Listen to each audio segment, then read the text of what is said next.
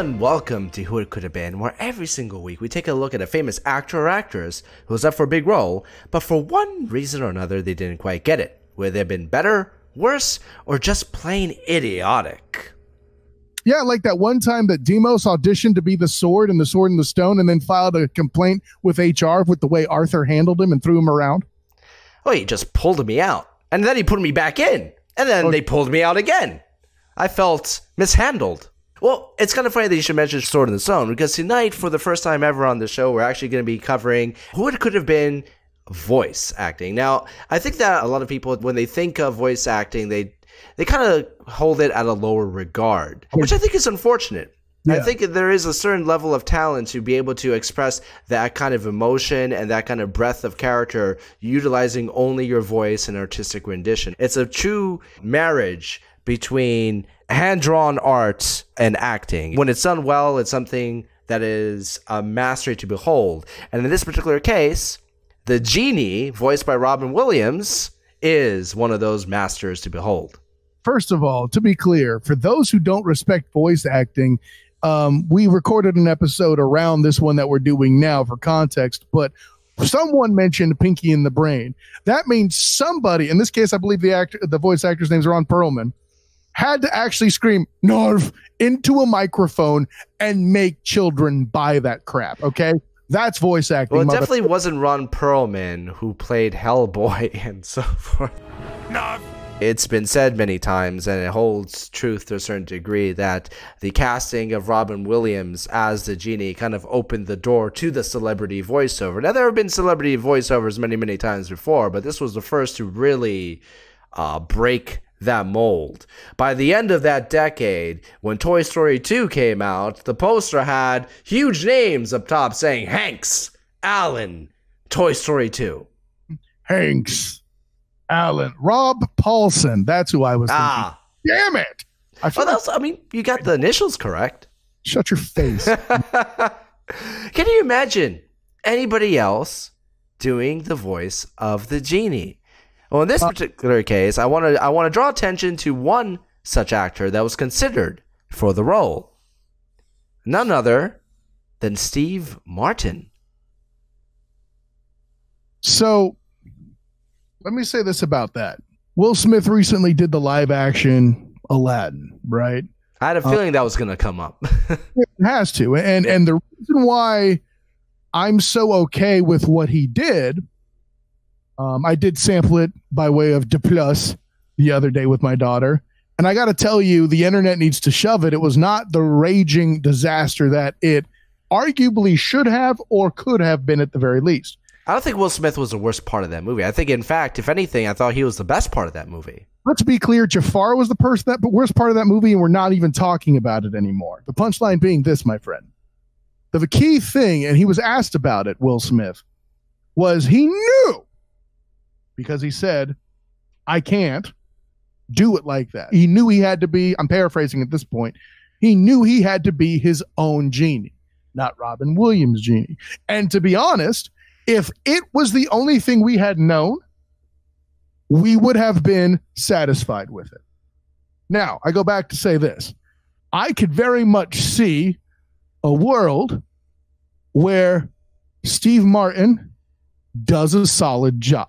Will he I, I think it's I think it's beyond question that Steve Martin would definitely br- make do a solid job. I don't think that's even a, a contention here.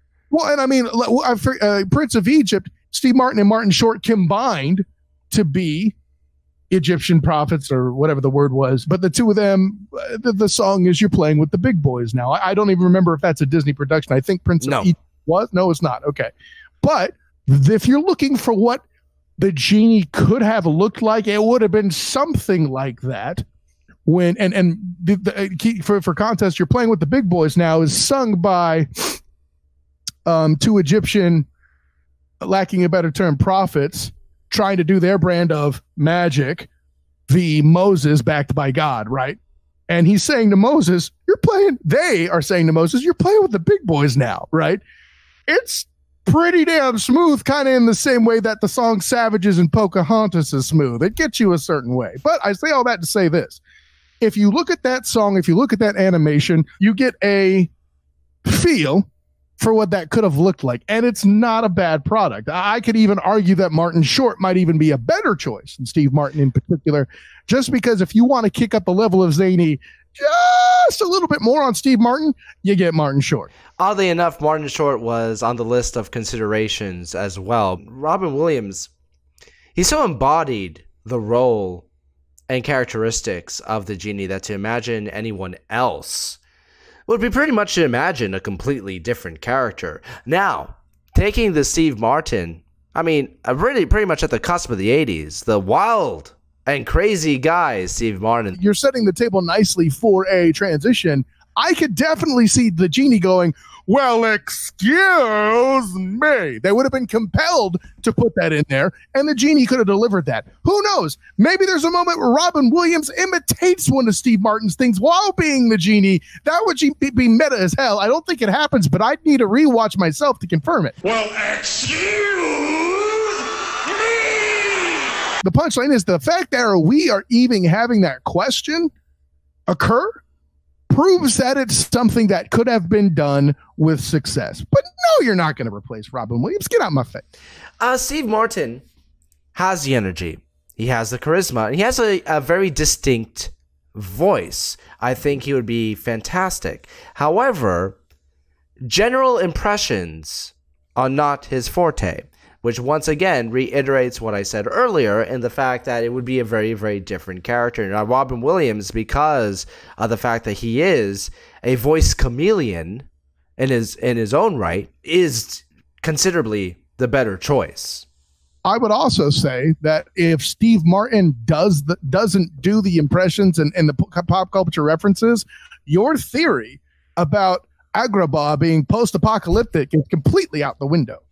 Well, it's not my theory. We had a previous conversation about the dark Disney theory that Aladdin takes place in a far, far future and is really post-apocalyptic. Therefore, that's why you got uh, genies, all his anachronistic references, and and and so forth.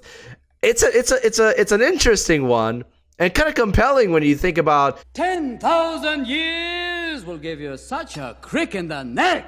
I could see Steve Martin doing that line. I can see Steve Martin actually making a King Tut reference. I mean, he kind of, he'd probably be compelled to, being yeah. the era. That, uh, excuse me, wild and crazy guy, all would have been forced into the movie, one hundred percent. True. I think that I think that one of the things I appreciated specifically about Robin Williams' portrayal of the genie in the original film, the thing that I appreciate about that performance, as opposed to other celebrity voice work, is when I look at the genie I see the genie. I don't see the voice actor through the character. And I feel that way in a lot of other films. If you want to use, if you want to go back to Will Smith, Shark Tale, when you watch that film and it's not a comparable film by any any chance, I see Will Smith. I don't see a damn fish. So all in all, I think we're, we're kind of in agreement that Steve Martin would have been a solid choice, but that Robin Williams is far superior. Next question. Easy. For the next question, tune in next week for yet another episode of Who It Could Have Been right here on Hilarity by Default, where life is, apropos, hilarious by default. More like apra no. Why? Really. Why would you take that away from me?